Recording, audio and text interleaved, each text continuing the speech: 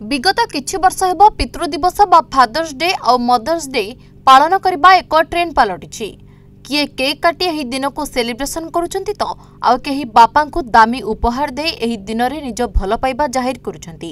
ହେଲେ ଏମିତି ବି କିଛି ବାପା ମା ଅଛନ୍ତି ଯେଉଁମାନେ କୌଣସି ନା କୌଣସି କାରଣରୁ ନିଜ ପରିବାରଠାରୁ ଅଲଗା ହେବା ପାଇଁ ବାଧ୍ୟ ହୋଇ ଜରାଶ୍ରମକୁ ନିଜ ଶେଷ ଠିକଣା ଭାବେ ବାଛିବାକୁ ପଡ଼େ।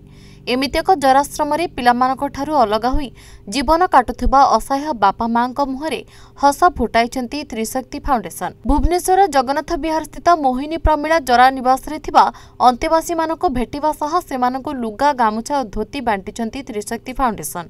ଏହା ସହ ତ୍ରିଶକ୍ତି ଫାଉଣ୍ଡେସନ ପକ୍ଷରୁ ଜରାଶ୍ରମକୁ ଏକ ମାସର ରାସନ ସାମଗ୍ରୀ ମଧ୍ୟ ପ୍ରଦାନ କରାଯାଇଛି। ପରିବାରଠାରୁ ଦୂରରେ ରହୁଥିବା ଏହି ବୃଦ୍ଧ ବାପା ସହ ଖୁସି ବାଣ୍ଟିଲେ ଦୁଇଗୁଣ ଖୁସି ମିଳେ ବୋଲି କହିଛନ୍ତି ତ୍ରିଶକ୍ତି ଫାଉଣ୍ଡେସନର ସଭାପତି ଅକ୍ଷୟ ଦାସ। ସୁମନ୍ତ ସ୍ୱାଇଁ ତ୍ରିଶକ୍ତି ଫାଉଣ୍ଡେସନର ଲିଗାଲ ଆଡ଼ଭାଇଜର। ଆଉ ଯାହା ହଉ ଏମିତି ତ୍ରିଶକ୍ତି ଫାଉଣ୍ଡେସନ ସାରା ଓଡ଼ିଶାରେ ପ୍ରତି ମୋମେଣ୍ଟରେ ମଧ୍ୟ ଯେଉଁଠି ଯେଉଁ ରୋଗୀ ହୁଅନ୍ତୁ କି କୌଣସି ଜରାଶ୍ରମ ହଉ କି କୌଣସି ପିଲା ଯିଏ ଯାଉଛନ୍ତି ବାହାରକୁ କ୍ରୀଡ଼ାରେ ଖେଳିବା ପାଇଁ ହଉ ତ ସମସ୍ତଙ୍କ ପାଖରେ ଛିଡ଼ା ହେଇକି ସମସ୍ତଙ୍କର ସହଯୋଗର ହାତ ବଢ଼ାଇଛନ୍ତି। ଆମର ତ୍ରିଶକ୍ତି ଫାଉଣ୍ଡେସନର ଯିଏ ଅଛନ୍ତି ଅଧ୍ୟକ୍ଷ ରାଜାବାବୁ ଯିଏ ଅକ୍ଷୟ ଦାସ ଯିଏକି ଶୁଣିଲା ମାତ୍ରକେ ଓଡ଼ିଶାର କୋଣ ଅନୁକୋଣରେ ଆପଣ ଦେଖିବେ ଯେକୌଣସି ଜାଗାରେ କେଉଁଠି ଗୋଟେ କିଡ଼ନୀ ରୋଗୀ ହେଲା କି ଗୋଟେ କ୍ୟାନ୍ସର ପେସେଣ୍ଟ ହେଲା କି ଗୋଟେ କେଉଁଠୁ ଗଛରୁ ପଡ଼ିଯାଇଥିବା ବ୍ୟକ୍ତି ହେଲା କି କିମ୍ବା ସରକାରଙ୍କଠୁ ସହଯୋଗ ପାଇନଥିବା ବ୍ୟକ୍ତି ବି ହେଇଛି। ତ ଏମିତି ଯେଉଁ ଜାଗାରେ ଖବର ମିଳିଲା ତ ତ୍ରିଶକ୍ତି ଫାଉଣ୍ଡେସନ ତରଫରୁ ଆମର ଅକ୍ଷୟ ଦାସ ସାର୍ ଆଉ ରାଜାବାବୁ ତ ଯାଇକିରି ପହଞ୍ଚନ୍ତି ଆଉ ସବୁ ଜାଗାରେ ଡୋନେଟ୍ କରନ୍ତି ହାତ ବଢ଼ାନ୍ତି ସହଯୋଗର ହାତ ବଢ଼ାନ୍ତି ଆଜି M P old age foundation ଯେଉଁଟା ଆମର ଜରା ନିବାସକୁ ଆସିଥିଲୁ ଯେଉଁଟାକି ଭୁବନେଶ୍ୱରର ଜଗନ୍ନାଥ ବିହାର ଲେନ୍ ନମ୍ବର ଷୋହଳରେ ଆଜି ଯେଉଁ ବୃଦ୍ଧ ଲୋକ ଥିଲେ ମଉସା ମାଉସୀ ଥିଲେ ତ ସେମାନେ ଅନେକ ବହୁତ ଖୁସି ଅନୁଭବ କଲେ ଯେଉଁଟାକି ମାନେ ଗୋଟେ ଖୁସି କହିଲେ ନ ସରେ ଯେ କି ରାଜାବାବୁ ତାଙ୍କ ମୁହଁରେ ଆଜି ହସ ଫୁଟେ ଫୁଟେଇଛନ୍ତି ଆଉ ତା ସହିତ ତ୍ରିଶକ୍ତି ଫାଉଣ୍ଡେସନର ସମସ୍ତ ମେମ୍ବରମାନଙ୍କର ସହଯୋଗରେ ଏଇଭଳି ଚେଷ୍ଟା ପ୍ରଚେଷ୍ଟା ପ୍ରତ୍ୟେକ ମାନେ ମୁହୂର୍ତ୍ତରେ ମଧ୍ୟ କରାଯାଉଛି। ଆଉ ମଧ୍ୟ ଆଗକୁ ଯେଉଁଠି ଖବର ମିଳିବ ରାଜାକୁ ପହଞ୍ଚିବେ ଆମ ଟିମ୍ ତ୍ରିଶକ୍ତି ଫାଉଣ୍ଡେସନ ପହଞ୍ଚିବ। ମୋ ନାଁ ରମାନାଥ ନାୟକ ମୁଁ ଏଇ ଏମ୍ ପି ଓଲ୍ଡ ଏଜ୍ ହୋମ୍ର ଚେୟାରମ୍ୟାନ୍ ଏମିତି ତ କହିଲେ ବହୁତ କିଛି ମାନେ ପୋଥି ହେଇଯିବ।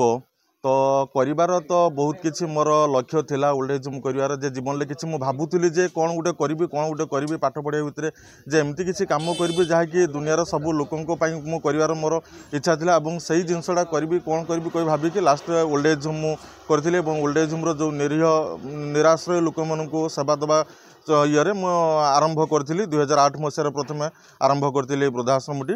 ପ୍ରଥମେ ଛୋଟରୁ ମାନେ ଗୋଟିଏ ଆଶ୍ରମ ଥିଲା ଆଜି ଭଗବାନଙ୍କର ଆଶୀର୍ବାଦରୁ ଏବଂ ବହୁତ କିଛି ଲୋକଙ୍କର ସହଯୋଗ ପାଇଁ ଇଏ ବର୍ତ୍ତମାନ ଚାରୋଟି ବ୍ରାଞ୍ଚ ଏବଂ ଶହେ ପାଖାପାଖି ବର୍ତ୍ତମାନ ଆମର ଏମ୍ ପି ଓଲ୍ଡ ଏଜ୍ ହୋମ୍ରେ ଲୋକ ରହୁଛନ୍ତି ସମସ୍ତଙ୍କର ମାନେ ସହଯୋଗ ସହାନୁଭୂତି ଯେମିତି ଆଜି ମାନେ ଏମିତି କି ଲୋକଙ୍କ ପାଖରେ ଟଙ୍କା ବହୁତ ଥିବ କିନ୍ତୁ କିଛି କେହି କରିପାରନ୍ତିନି କିଛି କରିବା ପାଇଁ ହେଲେ ହୃଦୟ ଦରକାର ମାନେ ସବୁଠାରୁ ଗୋଟେ ବଡ଼ ହୃଦୟ ଦରକାର ହୃଦୟ ମାନେ ଯେଉଁଟାକି କୁମଳ ଭରା ହୃଦୟ ଦରକାର ସେଇ ହୃଦୟ ଆଜି ମୁଁ ଦେଖିଲି ତ୍ରିଶକ୍ତି ଫାଉଣ୍ଡେସନର ଯେଉଁ ରାଜା ବାବୁ ଅଛନ୍ତି ଯେଉଁ ସମସ୍ତ ମେମ୍ବର ଯେଉଁ ଯେଉଁ ସହଯୋଗ ଆଜି ହାତ ବଢ଼ିଛନ୍ତି ଏମ୍ ପି ଓଲ୍ଡ ଏଜ୍ ତାଙ୍କୁ ମୋ ତରଫରୁ ଏବଂ ଆମର ଥିବା ଅନ୍ତବାସୀ ବାପା ମାଆଙ୍କ ତରଫରୁ ତାଙ୍କୁ ଅଶେଷ ଅଶେଷ ଧନ୍ୟବାଦ।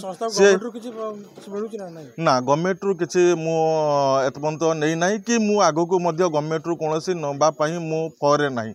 ମୁଁ ମୋର ପର୍ସନାଲ ମ୍ୟାଟର ଉପରେ ଚାଲିଛି ହଁ ମୁଁ କର୍ପୋରେଟ୍ ଫଣ୍ଡିଂ କିମ୍ବା ଏମିତି ଆମର ପ୍ରାଇଭେଟ୍ ମାନେ ଇଏରୁ ନେଇପାରିବି କିନ୍ତୁ ଗଭର୍ଣ୍ଣମେଣ୍ଟ ଫଣ୍ଡିଂ ନେବା ପାଇଁ ମୁଁ ଫରେ ନାହିଁ। ଜଣେ ଭାଇଙ୍କ ଠାରୁ ଖବର ପାଇଲୁ ତ ଖବର ପାଇଲା ମୋର ଆମର ତ ଆମେ ତ ଆକ୍ଚୁଆଲି ଫାଉଣ୍ଡେସନ୍ ଅଛି ଲୋକଙ୍କ ସେବା କରିବା ପାଇଁ।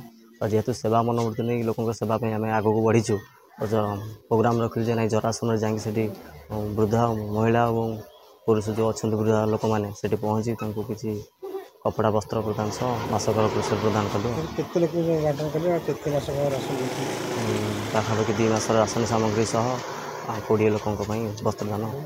କ'ଣ କ'ଣ ସବୁ ଆଜି ବସ୍ତ୍ରଦାନ କିଛି କଲୁ ଏବଂ କୋଡ଼ିଏ ଲୋକଙ୍କର ବସ୍ତ୍ରଦାନ ସହ ଦୁଇ ମାସର ଗ୍ରୋସରୀ ଦେଲୁ।